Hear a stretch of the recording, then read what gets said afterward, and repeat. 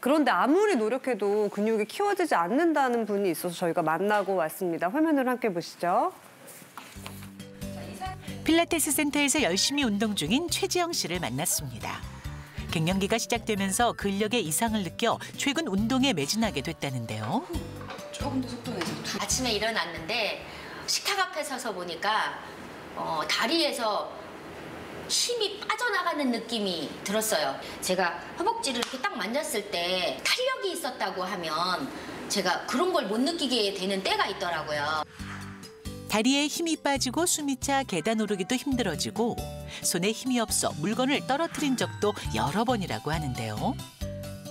예전에 악력이 되게 좋은 편이거든요. 그런데 지금은 손에 힘이 많이 줄어서 또 무거운 걸 들을 때 뭐 장을 보고 온다든가 이랬을 때 짐 드는 것도 요즘은 정말 많이 줄인 것 같아요.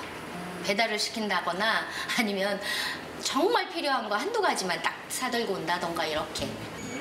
근육량의 변화를 체크해 보니 21kg이던 근육이 불과 6개월 사이 18kg으로 약 3kg이나 빠졌습니다. 그래서 근력 강화를 위해 시간이 나면 이렇게 전신 운동을 한다는데요. 아직 초보라 버겁지만 건강을 위해 오늘도 최선을 다합니다.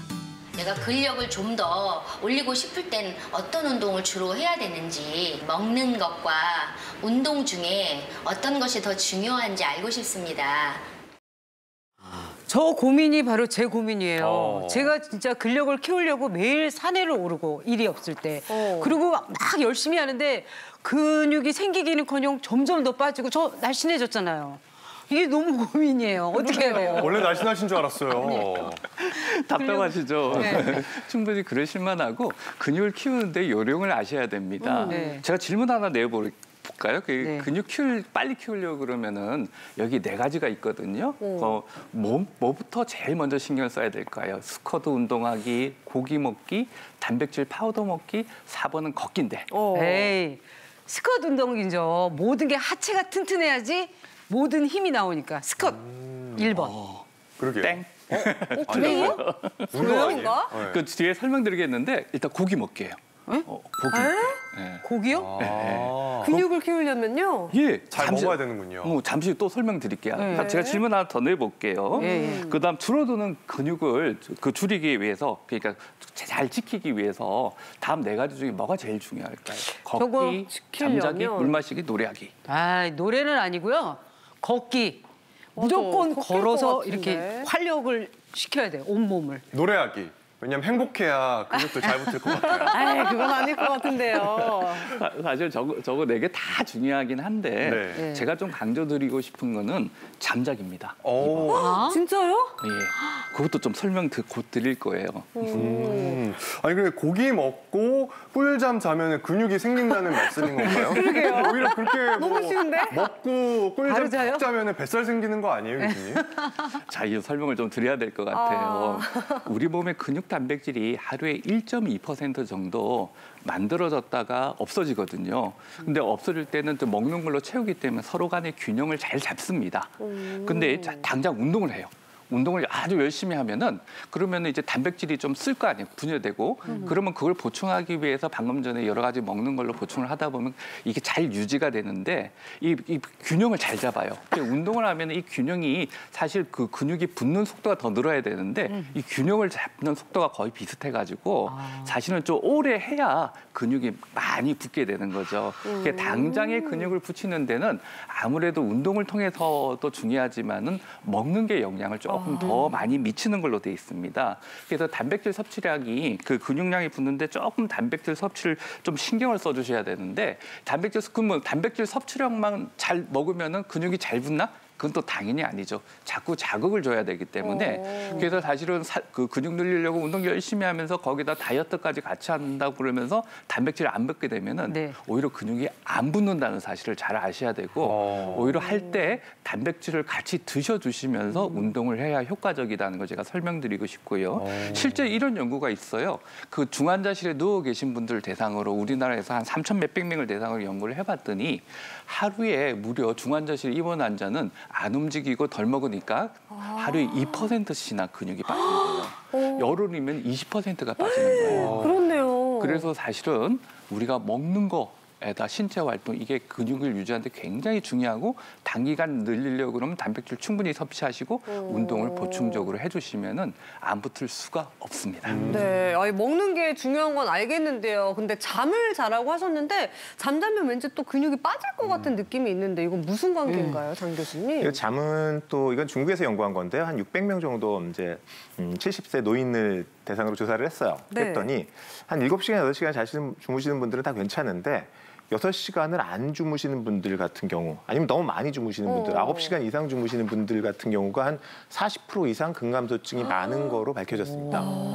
이게 왜 그러냐면요. 음, 일단 옛날에 자면은 키, 키 큰다 뭐 이런 얘기 있잖아요. 네. 이게 자게 되면은 성장 호르몬이 나오거든요. 근데 성장 호르몬이 근육을 생성을 하는데 아주 중요한 역할을 담당하는 호르몬이에요. 근데 잠을 못 자게 되면 성장 호르몬도 덜 나오게 되고 스트레스 때문에 호르몬 코티졸 같은 것도 많이 나오게 되고 아. 인슐린 저항성도 올라가게 되고 이 세 가지가 다 근육을 만드는데 아주 안 좋습니다. 그렇기 때문에 잠을 충분한 수면을 이제 하지를 않게 되면은 근감소증이 더 심해지게 되는 거고요.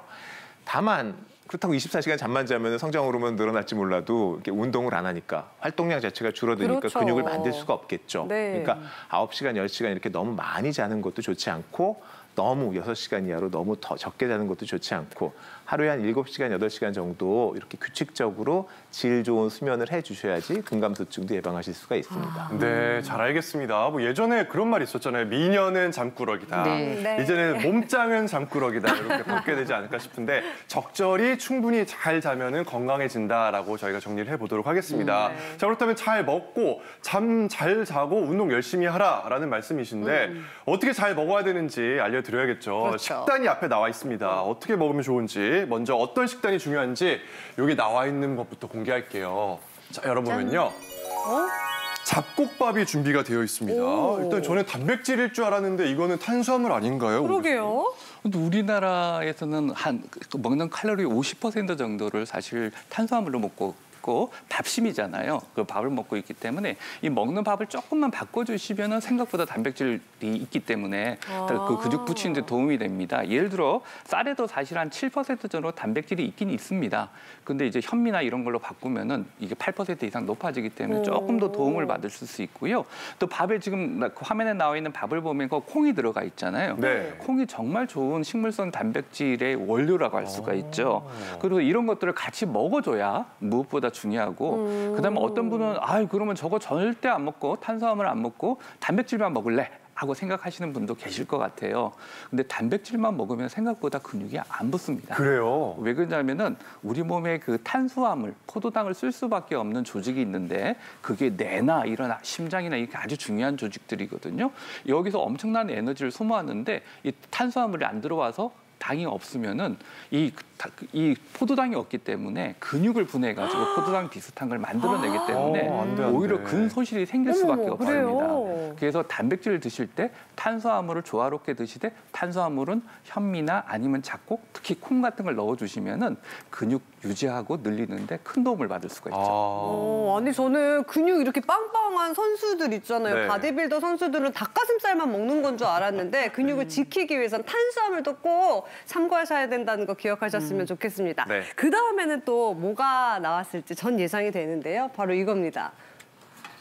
고기. 아까 말씀해주신 고기가 나왔네요. 그런데요, 이게 나이가 들면은요, 이도 부실하고 소화력이 떨어져 갖고 고기를 먹고 싶어도 실컷 못 먹거든요. 맞아요. 어느 정도 먹어야지 이게 근육량을 늘- 늘릴 수 있는지 궁금해요. 네, 교수님. 짚어주세요. 네, 예, 고기도 정도? 꼭 챙겨 드셔야 됩니다. 고기가 뭐 암을 유발한다는 그런 네. 오해들이 너무 심하셔가지고 안 드시는 분이 있는데 사실 고기 나이가 들수록 몇 끼니 단백질을 챙겨 드셔야 되는데 고기 그 성인은 대략 한 0.8 정도에서 1g 정도 킬로그램당 0.8에서 1g 정도 하루에 그, 그 저기 단백질을 섭취를 하셔야 되거든요. 네. 근데 이제 노인들은 아무래도 그 저기 근손실이 많으니까 더 먹어야 된다. 그래서 한 30% 정도 늘려서 하루에 그 킬로그램당 1.2g까지 더 늘려야 된다는 그- 그 보고도 있고 권고도 있긴 한데요.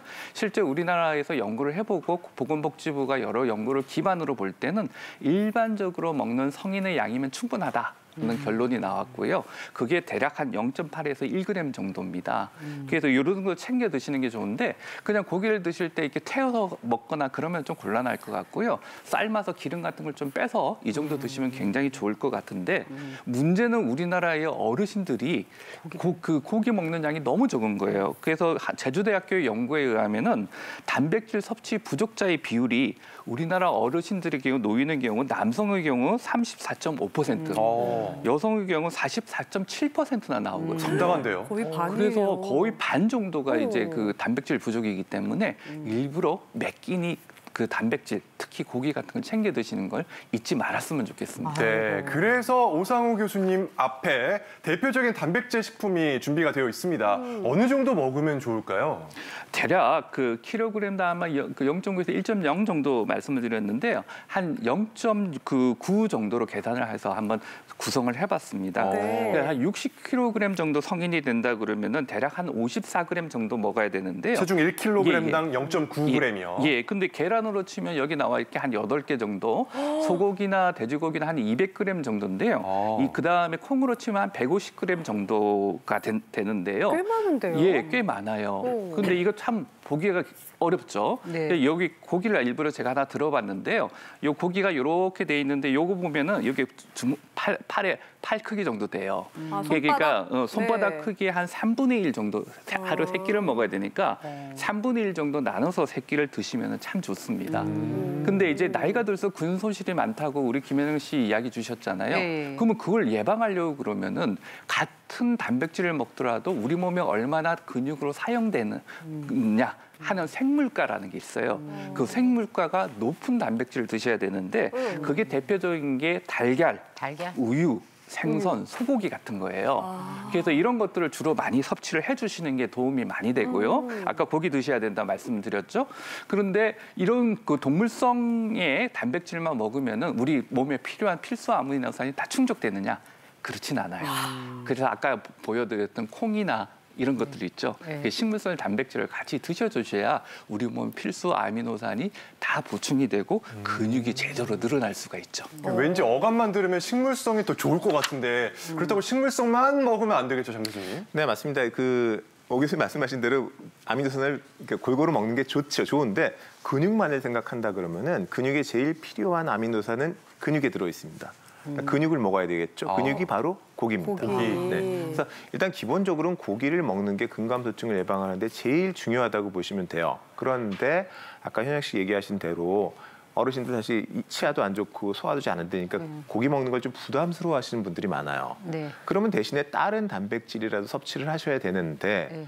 뭐 예를 들어 가지고 무슨 뭐 우유 같은 경우는 또 먹으면 부글부글 끓는다고 안 좋아하시고요. 음. 뭐 계란 같은 경우 콜레스테롤 때문에 안 드시는 분도 있고요. 그러다 보면은 결국에는 단백질은 섭취를 안 하고 그냥 쌀밥에다가 무슨 뭐 젓갈, 네. 김치 이 정도만 드시는 분들이 많으니까 아까 말씀하신 대로 우리나라 노인들 50%가 단백질이 부족하다는 이야기가 나오는 겁니다. 네. 그 부족한 50% 중에 또 반 정도는 근감소증으로 들어가게 돼 있어요. 그래서 노인분들은 어쨌든 밥 먹을 때는 항상 고기 반찬이 없으면 밥을 안 먹는다라는 세- 생각을 가지고 꼭 고기 반찬을 먹으셔야 되고요. 고기 반찬이 질린다? 그럼 비슷한 류의 다른 단백질을 먹으셔야 되겠죠. 뭐 우유라든지 뭐 계란이라든지 다른 뭐 이제 두부 같은 거 있잖아요. 어. 생선 같은 거. 네. 뭐 질린다 그러면 그렇게 번갈아 가면서 여러 가지 단백질을 섭취를 하되 기본적으로 꼭 고기를 섭취를 해야지만 무서운 근감소증을 예방하실 수 있다는 거를 명심하셔야 되겠습니다. 음. 네, 고기가 좋다는 말씀 해주셨는데요. 그런데 젊었을 때는 뭐 피기만 사라지면 바로 먹을 정도로 고기를 좋아했던 분들도 그 정도로요? 이제 나이가 들면 네. 갑자기 이제 고기만 보면은 갑자기 먹고 싶은 마음이 뚝 떨어지시는 분들도 있거든요. 음. 그쵸, 그쵸. 그럴 때 특히 노년분들에게 좋은 단백질을 저희가 준비를 해봤습니다. 네. 고기를 정말 못 드시겠다. 그래도 그럴 때 요거 드시면 좋은데요. 자. 공개하면 짜란. 황태입니다. 근데 이거 숙취 해소에도 좋죠, 오 교수님. 이게 뭐 등푸른 생선 이런 것들 좋아하시는데요. 또 그런 거 냄새 또 싫어하시는 분이 계셔가지고 제가 권하고 싶은 것 중에 하나가 이 황태입니다. 황태가 이제 물을 좀 빠져 있죠. 그게 농축돼 있기 때문에 생각 생각보다는 양이 많습니다. 단백질 양이 네. 100g당 단백질이 80g이나 들어있기 때문에 아주 좋고요. 또 무엇보다 장점은 기름이 없죠. 지방질이 음. 그쵸. 없고 콜레스테롤이 없으니까 여러 가지 도움이 되고 소화도 잘 되고 부담 없이 드실 수 있기 때문에 동물 동물성 단백질 아주 숨은 법이라고 할 수 있겠죠. 자, 다음은 의외의 단백질입니다. 네. 황태 옆에 준비가 되어 있는데요. 어, 뭐지? 자? 요거는 뭘지 공개하겠습니다. 자, 시금치와 김입니다. 아, 뽀빠이가 좋아하는데 이유가 있었군요. 단백질도 많은가 봐요, 오 교수님. 예, 뽀빠이의 건강식 음, 다 아시잖아요. 네. 근데 실제적으로 시금치 100g에 단백질이 2.9g이나 들어있어요. 그래요? 예, 그래서 사실 시금치의 성분 중에 3분의 1 정도 단백질이라는 표현도 있는데요. 육류가 아닌 채소에 이렇게 단백질 많은 그 식품이 그렇게 많지 않습니다. 그래서 아주 권할만 하고요. 여기에 여러 가지 단백질들이 많이 들어가 있는데요. 아르기닌 성분이나 이런 것들이 내 건강에 더 좋죠. 여러 가지 치매 예방이나 이런 데도 좋고 그다음에 성장 호르몬 분비에도 도움을 주기 때문에 성장 호르몬이 있어야 근육이 잘 붙을 거 아닙니까? 네. 그래서 여러 가지 도움이 많이 되고요. 또 잘 모르시는 게 있는데 김도 정말 그 단백질이 생각보다 많아요. 오. 소, 그 거의 그 소고기가 100g당 단백질 함유량이 20g 정도 나온다고 돼 있는데요. 김은 36g으로 그 소고기보다 훨씬 많습니다. 어머, 많네요. 어, 그래서 근데 김을 그 소고기만큼 많이 먹을 수는 없으니까 차라리 아까 그 계란말이 같은 거 하시면서 거기다 김을 싸서 드시면 더 효과적이라고 볼 수 있겠죠. 그렇군요. 이렇게 평소에 먹으면 좋은 식품들 알아보고 있는데요. 네. 이거는 간식으로 특히나 운동할 때 같이 드시면 좋다고 합니다. 네. 어떤 거냐면요. 아이고, 아, 사과 껍질? 껍질이에요. 껍질 안 뺀 거. 아니에요? 껍질을 먹으라고요? 네, 이, 이 사- 사과 껍질이에요. 뭐 이거 최근에 이제 연구되고 있는 물질 중에 하나인데 우르솔릭산이라는 게 들어가 있다고 하는데 네. 이게 뭐, 뭐 여러 가지 효과가 있는데 그 중에 근감소증에 좋은 거로는 이게 근육 양도 좀 늘리고 근력도 증가시킨다는 그런 연구 결과가 있습니다. 오. 그러니까 뭐 쥐한테 이 사과 껍질만 먹였더니 쥐가 이제 더 뭐 빨리 움직이고 어, 쥐가 이렇게 쥐는 힘도 늘어난다는 그런 연구 효과가 있고 연구 결과가 있거든요. 그러니까 이제 사과를 먹을 때 이 이제 사과 우리 보통 다 껍질 깎아가지고 이제 하얀 안에 하얀 것만 먹고 있잖아요. 맞아요. 그러지 마시고요. 이렇게 겉에 잘 닦아가지고 요새 농약 많이 안 씁니다. 잘 닦아가지고 아작아작 씹어 드셔도 좋고요. 이가 안 좋아가지고 아작아작 못 씹어 드시면은 이렇게 자를 때에도 꼭 껍질까지 같이 잘라가지고 드시면은 근육을 만드는데 조금이라도 도움이 되겠습니다. 아, 사과는 껍질까지 다 먹는 게 좋군요. 잘 씻어서요. 그렇습니다. 그리고 요즘에 보면은 주변에 편의점이나 마트 갔을 때 어. 마시는 단백질, 뭐 마시는 영양제 이런 게 정말 많이 잘 나왔더라고요. 음. 어르신들 같은 경우는 좀 식사하시는데 어려움이 있으시니까 그런 걸로 단백질을 대신하는 건 어떨까요, 교수님? 그렇죠. 그렇죠. 정말 그 어려우신 분, 그러니까 단백질을 섭취하기가 좀 어려운 분들은 오히려 그런 걸 좀 드시는 것도 도움을 받으실 수가 있습니다. 아무래도 근손실이 많은 분들이 단백질 섭취가 안 좋으면은 방금 전에 말씀드린 대로 근육이 별로 안 붙거든요. 근데 반드시 필요한데 이게 좀 중요한 것 중에 뭐냐면은 그 저기 파우더만 이렇게 드셔가지고는요 근육이 안 붙어요. 그러니까 탄수화물도 같이 드셔주셔야 되기 때문에 사실 그것만 먹어서 근육을 풀리겠다는 거는 조금 어불성설이라고 할 수 있고요. 네. 그다음 실제적으로 연구 결과들 보면은 파우더나 이런 거 먹잖아요. 네. 그럼 먹기만 하면 근육이 붙을 줄 알거든요. 네. 근데 실제적으로 연구 결과들을 막 모아가지고 여러 연구를 모아서 그 결- 내린 결론은 실제적으로 근력 운동을 같이 안 하면 근육 안 붙더라. 어? 그런 것만 먹, 먹는다고 해서 어. 그래서 운동이 반드시 같이 이루어져야 됩니다. 그렇죠. 그다음에 그 경구 영양에 방금 전에 말씀하신 것도 한 1에 15g 정도가 있긴 있는데요. 너무 믿지 마시고 먹는 걸로 하시되 먹는 걸로 안 될 경우에만 선택하시고 그걸로 도움을 받는 것도 어느 정도 도움은 될 수 있습니다. 네.